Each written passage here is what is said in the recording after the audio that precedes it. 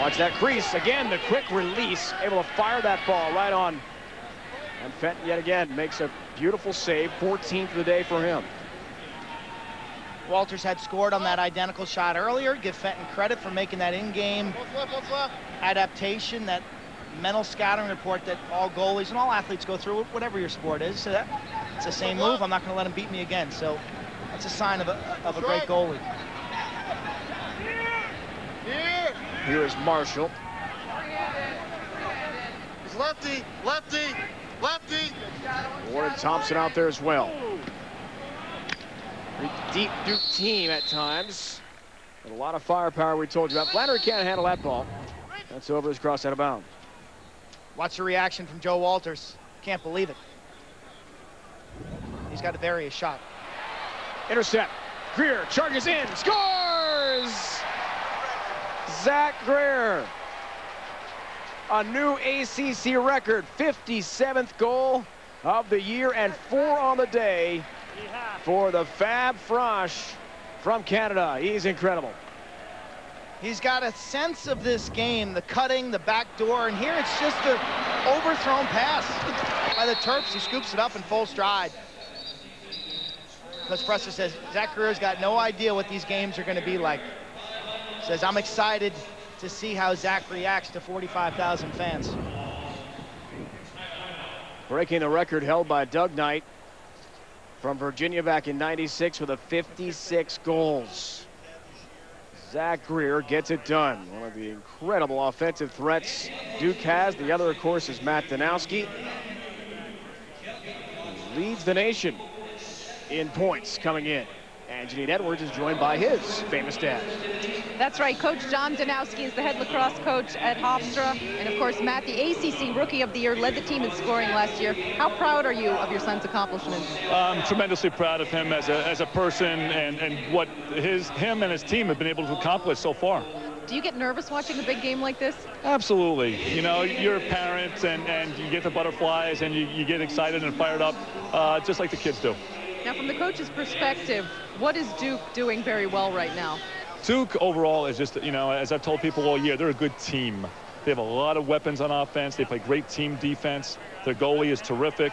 And, and they have a great, uh, a great chemistry, I think. And you can see today, a lot of people scoring goals, a lot of people making plays for them.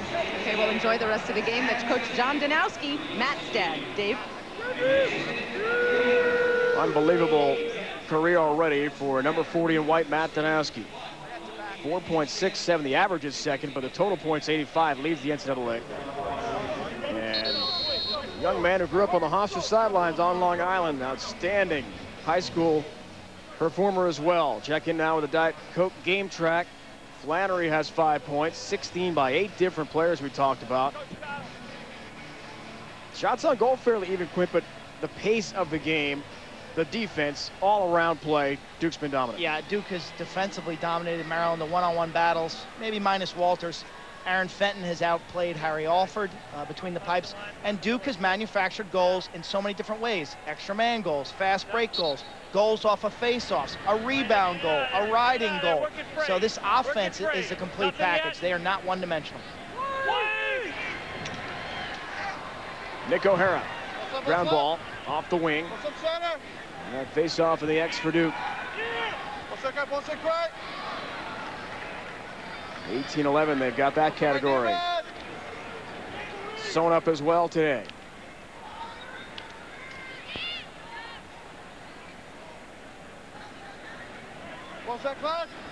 Coach Danowski talked about the chemistry that he sees on this Blue Devil line. Mike Pressler said the same thing earlier in this year. He says, you know, we're in our practice around number 70 on the season, and not once has he had to talk to his Blue Devils about character, about motivation, about spirit. Said the kids bring it every day. They're loose, they have laughs, but when it's time to work, they get to work. And we saw that yesterday in practice.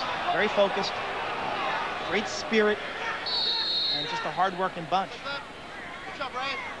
Ross got decked there on the end line. Push play on called, so Duke keeps it. I'm with you, partner. I, Duke seemed very loose in their practice.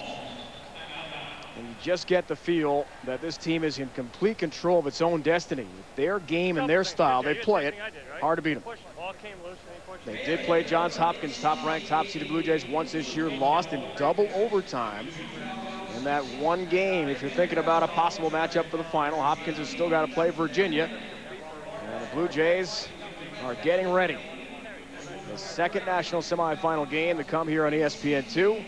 UVA and Hopkins from the semis. Your alma mater has struggled. Snake bit in the semis. Their lone win was in 2003 in Baltimore, where they lost then in the finals to Tillman Johnson in Virginia. But that game's coming up, and Virginia's got a nice track record going against the Hopkins Blue Jays. So this game uh, should be a very, very tight, intense ball game. About 30 minutes. We'll have the face-off of that one. UVA and Hopkins. Duke has been in control of this game throughout after the McGlone tally by Maryland to get things going. If they have been controlling the right point of the game for them, leading us to our Pontiac game-changing performance. Duke got it going early in transition. The long pole O'Hara to Flannery, and then Zash off the face-off. What a first half Matt Zash had. He had three goals in the first half. Greer with the garbage on a rebound, and then he picks off this clearing pass. Freshman sensation just tearing it up. Trio attack from earlier. We told you how dominating these guys are, and look at the diversified scoring. Today, Flannery leads the group. Coming into this game, Danowski had 10 goals in the NCAA playoffs, and you see the impact that Zack Greer has had anytime you have a lefty finisher who can put the ball in the back of the net as well as he can without shooting percentage that high, uh, your offense is just so much better. It's, it's one of those weird positions where when you're right-handed team, if you have that one lefty, he benefits from everybody. Mm. 11 points combined. Terrific trio. Back down to Jeannine. Any chance for Maryland here, according to Dave Cottle?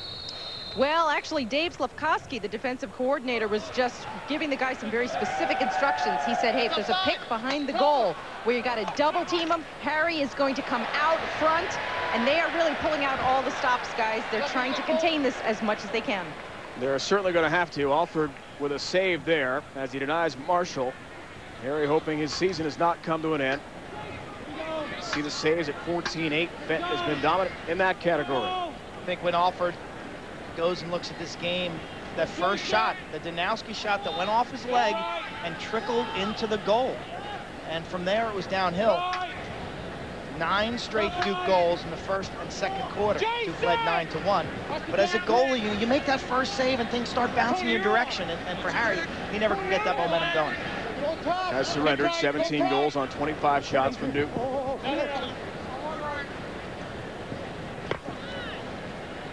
Alford in his first game head-to-head -head with Duke, 10 goals, 8 saves in that 10-8 loss. The second game, 15 saves and the 5 goals. McGlone trying to get free bounce shot.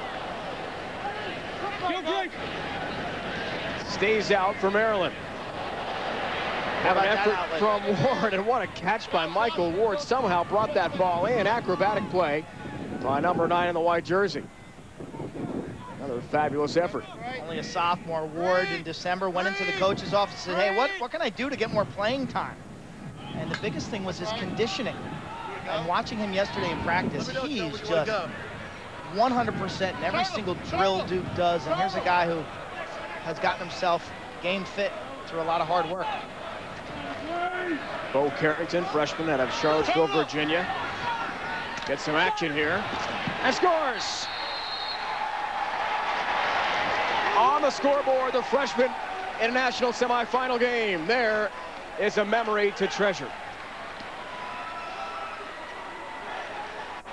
Lacrosse athletes are evolving. Carrington, 6'4", 210, with speed, power, you can be a small guy and play lacrosse. You can be a 5'8", 5'7", guy, but if you're 6'4", 210 and you drop your shoulder like that, and these sticks don't let the ball pop out very easily, you're, you're going to be a weapon. And you see the excitement, even though it's goal 18. Big picture meaningless in Carrington's world. That's the biggest goal of his life. Goal number one, yeah, for him in the NCAA tournament, third of the year.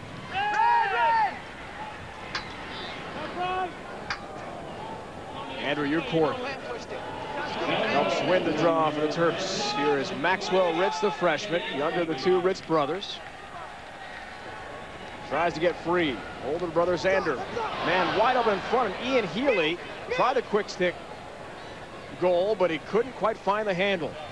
I'm surprised Duke hasn't substituted their goalie. You put in your backup, Danny Loftus right now to maybe get him a rep, give him a little game feel here in case you'd need him for some reason on Monday. I'm also surprised that Danowski is still in the ball game. Casey Carroll with a long stick. Nice intercept for Duke again. Send the ball right back. Actually, Danowski is out now. He was in that last possession, but now he is out. Chris Loftus is in, the freshman from Syosset, Long Island. Mike Pressler able to empty the bench here, and why not? Michael Young, 27 in white. Look at that balance and tremendous offensive output. It came in averaging 13.3 goals a game. That was the nation's best. 18 today. Loftus on the doorstep bidding for a 19. Play gets physical. Ian Healy. Bounce shot. Fenton shuts the door one more time. Mott's right on the doorstep, trying to rake in a rebound. Can't. 15 saves for Fenton in the game. 60-yard outlet pass to an attackman. Wow. Now right on the money. How about Matt Russell of Navy, who's so good at that?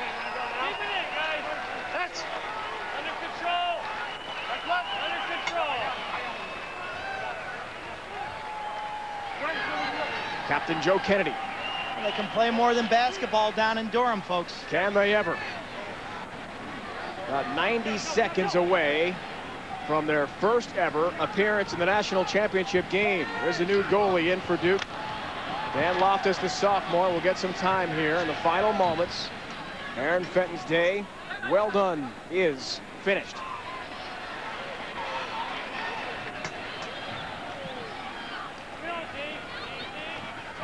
Just ragging the clock here. They've got to keep this ball in the offensive box. And their fans on their feet.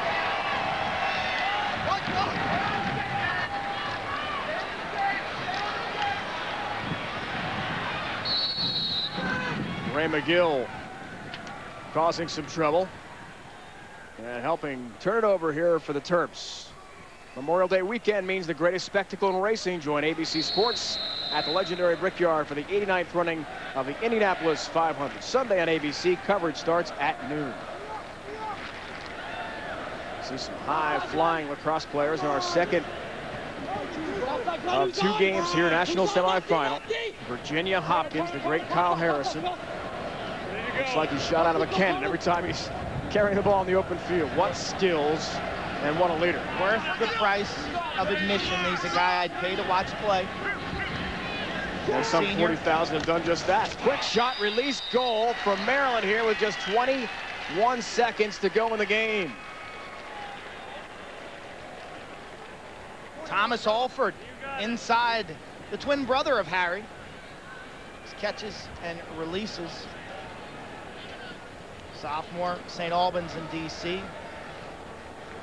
His brother Harry very close, take the same classes, live in the same off-campus apartment. Maryland Duke looks like Duke is through for sure. And the second game, Hopkins Virginia rematch from earlier in the season, beginning of the year, a two-goal win at Homewood in Baltimore by the Blue Jays. So can Virginia get revenge is the question. It won't be easy. Hopkins comes in undefeated, the only undefeated team left in the nation. And Duke will join them. Duke did play Hopkins once, lost in double overtime at Homewood in Baltimore. We shall see who wins the second game. We know Duke's in. Less than 10 seconds to a trip to their first ever national championship game. The Devils have done it. 18-9 the final for Mike Pressler. All around impressive team effort. Thoroughly dominate the Terrapins today. Nine goal first half run. And you see why they had the number one scoring offense. For Maryland, a valiant effort this season. Five and five, they won six straight to get to this point. People wrote them off mid-season. They didn't play their best game today.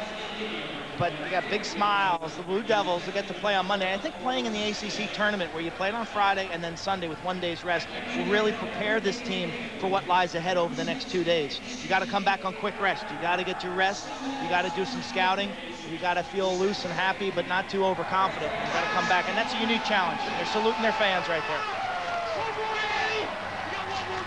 Those who have made the trip from Durham, North Carolina know there is one more step left to climb for the school's first ever national championship. Their head coach, Mike Pressler, 2005 ACC Coach of the Year. Third time he's won that honor with Duke. Five times at Division Three, he made the semis. Three-time the national title game at Ohio Wesleyan, but never a championship for Mike Pressler at any level. Maybe that changes this weekend. Mentored by the great Jack Emmer, who retired this year at Army, the winningest coach. Actually, you know, Jack's going to be here on Monday rooting his, his old protege on, but uh, this Duke team, they ramped it up this year. They got it going early, and the confidence is there, and this is a team. This is a team. Balance across the board. No, no blatant weak spots on this roster. These teams had met twice before in the NCAA tournament, but never in the semifinals until today. Duke's first trip to the semis since 97 proves to be fruitful. Final of 18-9 coming up. It's the NCAA Championship update, and then our second semifinals. Virginia takes on Johns Hopkins for the right to make Duke for the NCAA Lacrosse Championship. We'll have more our NCAA Championship Studios. That's coming up. Second doubleheader to come for Quint, Jeannine. It's Dave saying so long.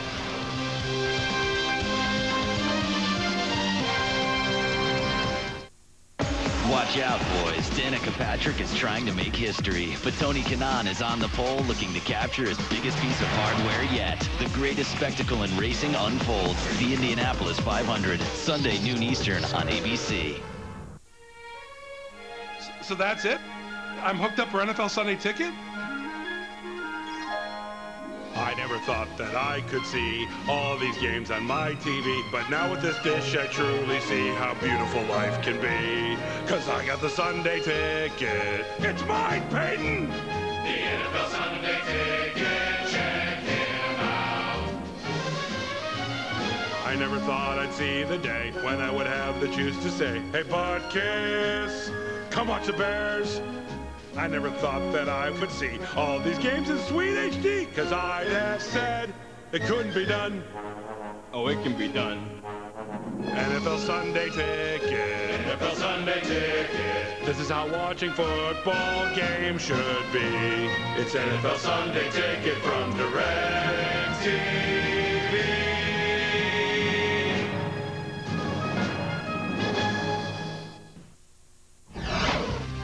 So one team has punched its ticket to Monday's national championship. Duke into the title game for the first time ever, an 18-9 winner over Maryland. So the Blue Devils will play for that trophy on Monday in Philadelphia. Dave Revsine alongside ESPN's college lacrosse analyst Leif Elsmo as Duke again awaits the winner of our next game coming up in about a half hour or so. It's Virginia against Johns Hopkins, and it is a chance, Leif, to see the most dominant player in college lacrosse today. That would be Kyle Harrison, and he leads a special senior group, a group that only lost three regular season games in their four years. Number 18, he does it all. Look at him shake and bake, losing those two defenders. The most dangerous player on the field because of his great quickness, his first step, his ability to go right and left, his face-off ability, so he will control the game for Hopkins in the middle of the field. But when he gets doubled, and he will get doubled, he looks for help, and he looks for two freshmen to step up.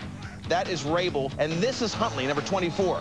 He's an attackman, a freshman from Calvert Hall in Baltimore, who has Canadian-like shooting instincts and ability. He can shoot right and left. He's a marksman, a sniper, and he has come up huge in big wins this year.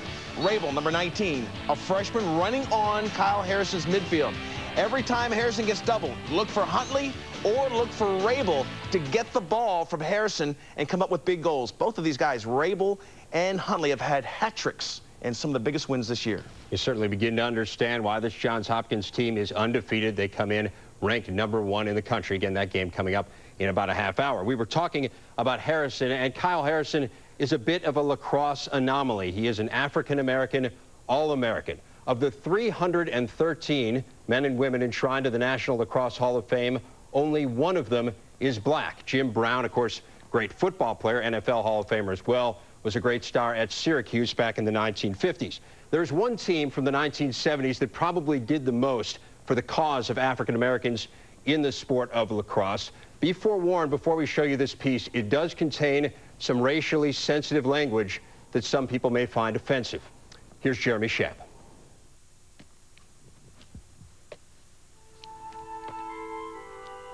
A father playing catch with his son. An American portrait. In Baltimore, though, it's lacrosse, as much as baseball or football, that links the generations. But this father and son share a unique lacrosse history, one forged in the turmoil of the civil rights movement. It is an unhappy truth that racism is a way of life. Baltimore, 1969. The campus of Morgan State University. Set against the backdrop of a country in the throes of a black power revolution, a group of students led by Miles Harrison Jr. had a dream to organize a lacrosse team, the first fielded by an historically black college. Contact sports allowed us legal rights to engage with Caucasian people.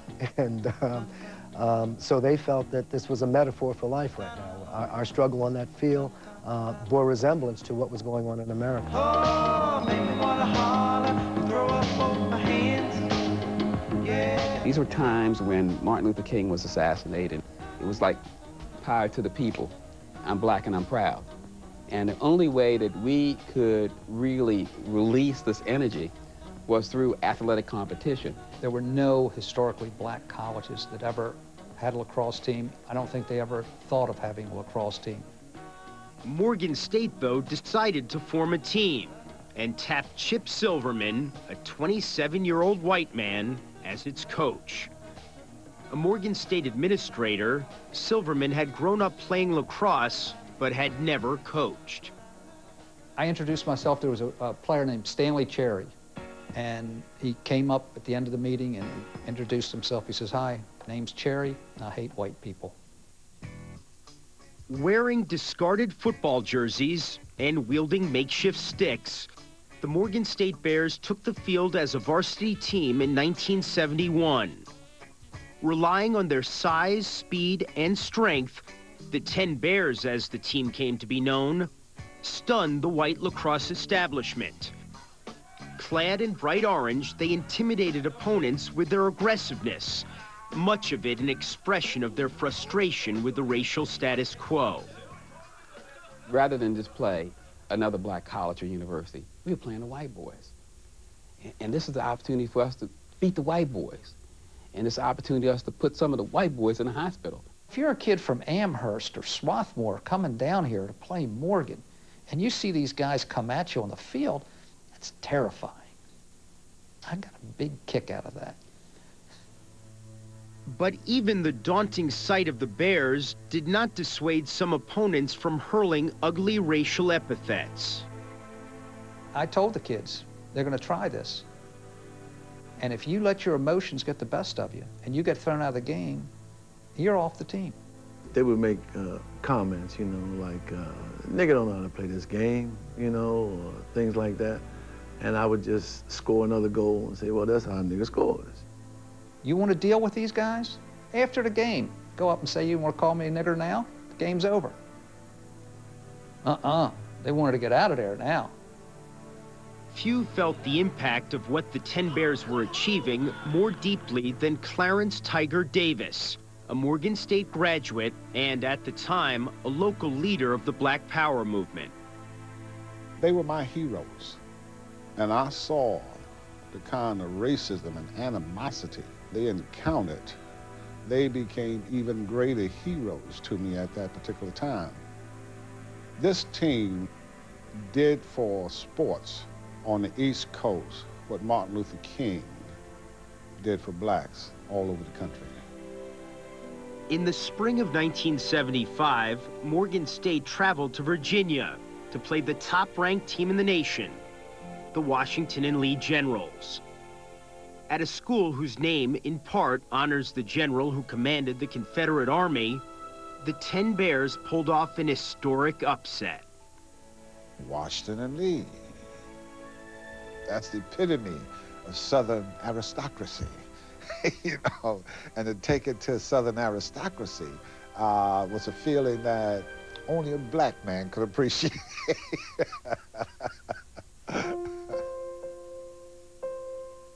but five years after defeating the number one team in the nation, Morgan State, in the midst of a fiscal crisis, dropped its decade-old lacrosse program. I don't think there'll ever be a social experiment in sport to parallel what we went through. Um, it almost still brings a tear to my eye when I think about it now in retrospect. Just... Today, the spirit of the Ten Bears lives on in Baltimore at Johns Hopkins, home of one of the most successful programs in college lacrosse. A generation ago, Miles Harrison and his Morgan State teammates would have been unwelcome at Hopkins. Today, Miles' son Kyle is the Blue Jays' most accomplished player. A senior midfielder, he's the team captain and a two-time finalist for the National Player of the Year award. Running away from the orange and scores! What an effort, Kyle Harrison! I think it's the ultimate honoring of dad. To have my son not only be accepted, but be one of the cogs in that Hopkins lacrosse machine um, is very, very gratifying to me. For a little black kid, you don't, you don't really have, you know, many people to look up to. And so it's nice to have, you know, the 10 Bears and, and that team at Morgan State you know, to look look up to and you say, you know, those guys did it. You know, why can't I do it? We look at this kid like we all look at him like our son. Oh yeah, I played with his dad. You know, that's that's our boy. Uh, yeah, we're very proud of him, and uh, all of us yeah, go to Hopkins games now to watch Kyle. When I see Kyle playing on the field, I do see him in a Morgan uniform. Sometimes it's almost like he goes out of that blue and white uniform, and I see that orange pop up on him, and I see the pride going down the field. Miles and Kyle Harrison still play catch. The hard white ball passing from father to son, from the Bear to the Blue Jay, from the past to the present, and back again. Jeremy Schaap reporting. Kyle Harrison's father, Miles, will be in the stands today cheering on his son as Johns Hopkins takes on Virginia in our next national semifinal. There is one sad piece of news to report today regarding that 10 Bears team. Tony Fulton, who was quoted several times in that piece, passed away a week ago today from pancreatic cancer. Obviously, we extend our condolences to his family. And as you look at that piece, Leif, what goes through your mind, the legacy of this 10 Bears team? Well, it's an inspirational story that stands on its own, and I think what you have to think about is how far this country has come in 30 years. This story tells that story beautifully. And the fight that Miles Harrison went through to give his son the chance to right now be the accepted, accomplished, accomplished leader of the best lacrosse team in the country. And he's there solely because of his ability. That's a great story. It is indeed. We will see whether or not they actually are the best lacrosse team in the country. It's the national semifinal coming up. Johns Hopkins comes in undefeated, ranked number one in the country, trying to get that elusive national championship trophy they haven't had since 1987. We'll be back getting you ready for that game momentarily.